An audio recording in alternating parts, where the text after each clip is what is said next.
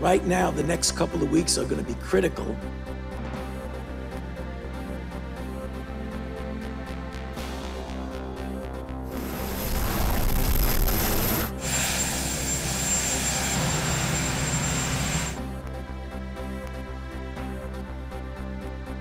How about we talk to the children, figure out why they're anxious, why they're angry, and meet those needs, teach them the coping skills that they need.